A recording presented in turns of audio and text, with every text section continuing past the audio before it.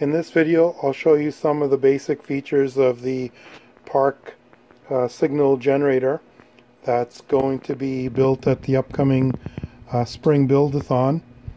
And uh, the idea for this came from my original signal generator which had uh, uh, several limitations. It could uh, only it was a two line LCD and so from the LCD I could only turn on one of the three outputs from the SI 5351 so what I decided to do was to move this to a uh, 4x20 LCD and uh, upgrade the board uh, to give a little bit more features. So here's the prototype of the board that I etched. And uh, basically there is an Arduino Nano at the heart of it that's controlling everything. There's an SI 5351 and it's got three clock outputs. And uh, the Arduino can turn on and off any of the three uh, clocks. There's also a um, two push buttons and uh, a rotary encoder. And the way the push buttons are uh, function is that there's one that's a a uh, enter or a next function and the other push button is a previous or go back button.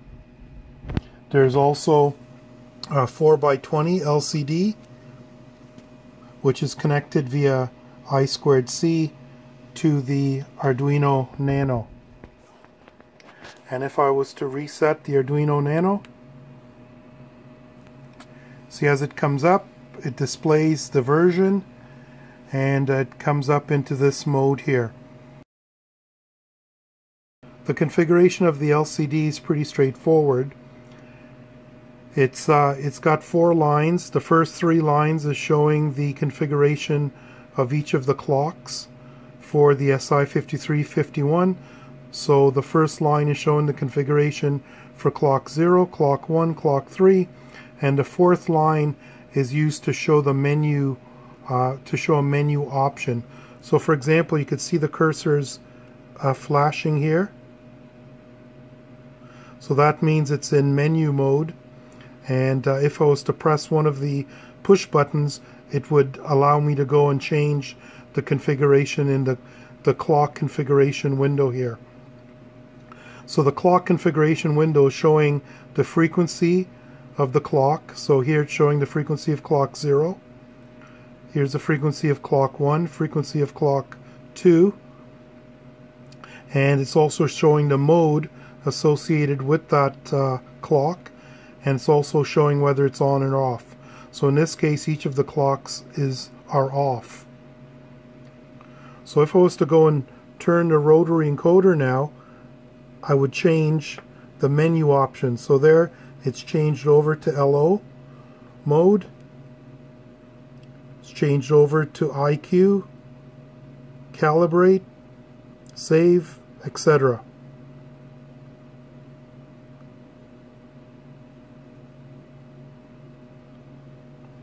and if I was to press the the forward button or the enter button see the cursor now moves into the clock window. And now the rotary encoder allows me to change between the clocks. So there I'm on clock 1 there I'm on clock 2 I'm back to clock 1 if I want to come back to the menu mode I I press the back button or the previous button and it takes me back. You can see the cursor there flashing in, in the uh, menu uh, line. So now when I'm back in clock mode, I'm now, uh, the cursor is now in clock 0. If I was to press the next button, see it turns on that clock and the cursor jumps to the frequency and uh, there I can change the frequency.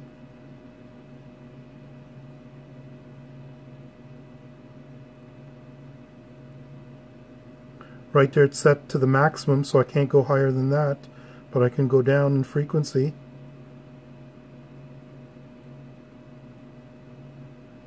And if I push the rotary encoder button it allows me to change to the various digits so I can alter them.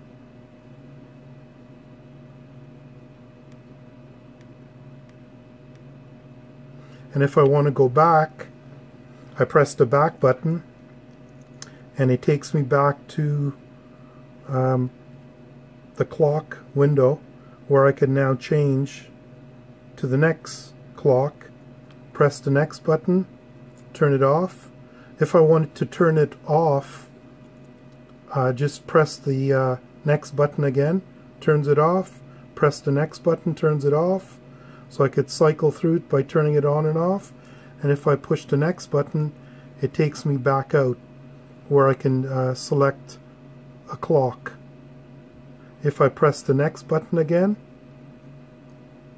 or not the next button, the previous button, it takes me back out and now I can uh, select uh, a menu option.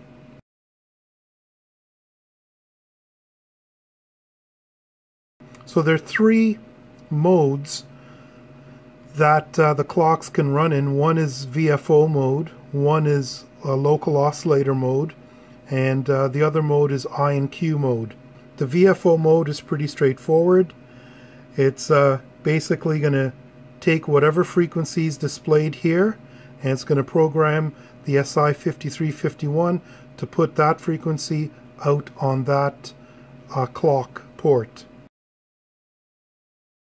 The way the LO mode works, it assumes that you've got a mixer and you've got some intermediate frequency feeding the mixer and uh, it's going to be mixed with the LO pr producing an RF signal coming out. So the RF is going to be the LO plus the IF or the LO minus the IF. So in LO mode on the SIGGEN, what it's going to do, it's going to display the RF on the LCD.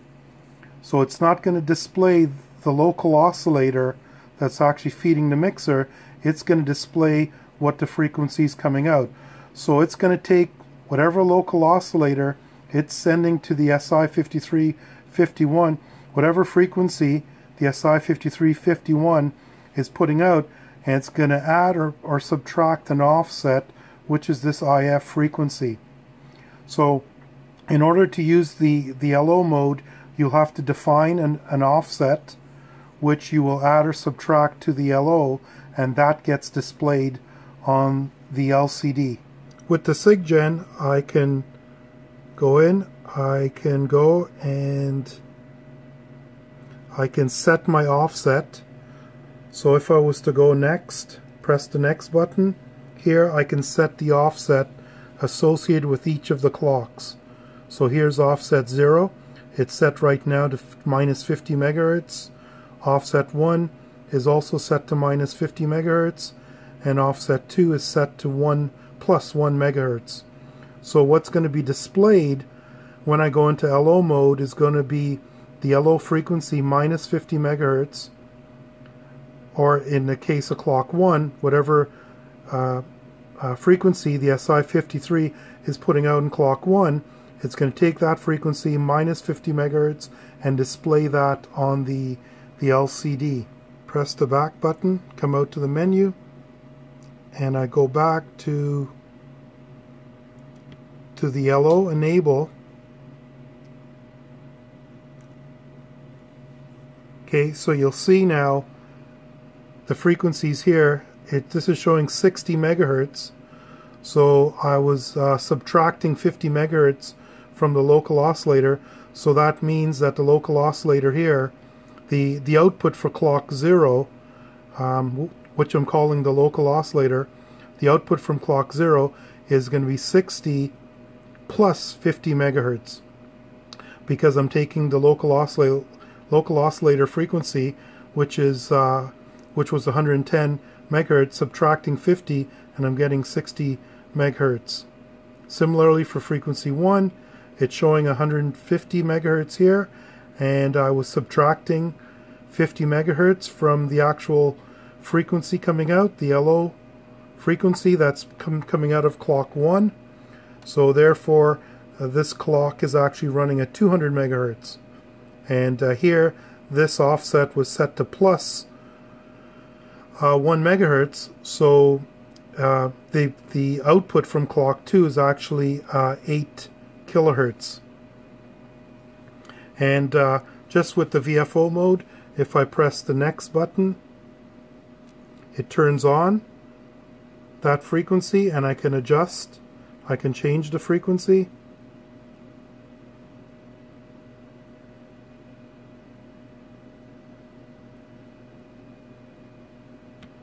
And I can press the next, come back and change to another clock and so forth.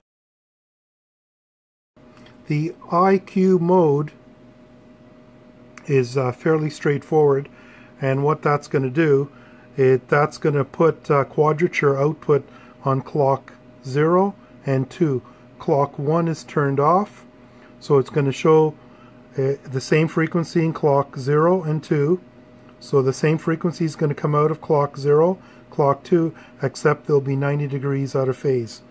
So if I was to go ahead and uh, press the next button, see I go in and uh, it pops me into the frequency where I could change the frequency. It's telling me I'm in IQ mode and it's on. So right now clock 0 and clock 2 are putting out quadrature signals at 14 megahertz and I can take the rotary encoder and I can change that frequency.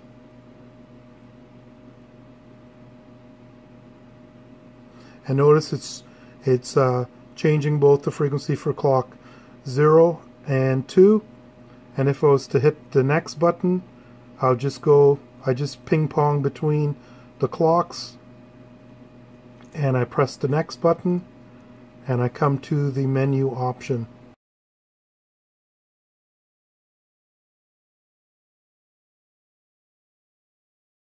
The next menu option is the calibrate. So basically in calibrate that allows you to calibrate the SI5351. So, so whatever frequencies you've got defined for the VFO frequencies, that's that's what's going to be put out when you're in calibrate mode. And uh, in this mode, um, you will um, change, you can change the calibration constant here, uh, the correction uh, factor for the SI5351. You could change that with the rotary encoder. And if you hit the next button, it saves it.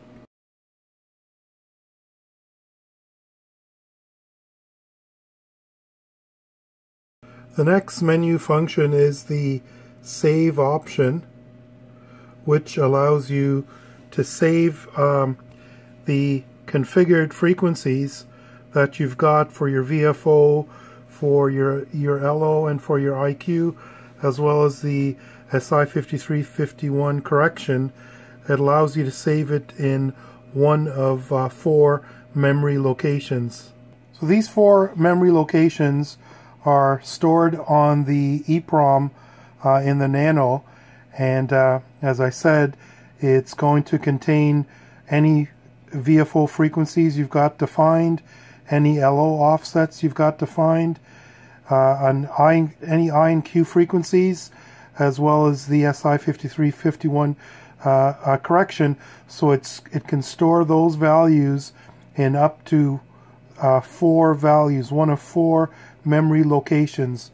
The way the memory locations are set up is that memory location 0 is used for startup or power up. So that's all the settings that's going to be used when the um, SIGGEN powers up for the first time or there's a, a reset. Uh, memory locations 1, 2, and 3 are available for general use. But uh, if you store anything in 0, if you power and uh, power off and power on the SIGGEN, it's going to use the values there. Uh, one important thing to note is that I did not implement autosave. So the power on defaults is not autosaved. You have to manually set it. And the reason I did that is because the Nano's EEPROM has a, um, a, a, limited number of writes before the um, EEPROM gets damaged or it fails. So I didn't bother doing an autosave and instead you have to manually go and save your power up default. So to use the save option, all you would do is navigate and get the save option here in the menu bar and you would press the next button. And then it comes up here and it prompts you to enter the memory location. So right there it would save it to memory location 1 you could change that to memory location 0 1 2 or 3 so let's go ahead and let's save that to memory location 3 so once you select your number press the next button and it saves it into memory location 3 the next option is the recall function, which allows you to load the frequencies that were saved in one of the memory locations. So to use this, you would use it exactly the same as save.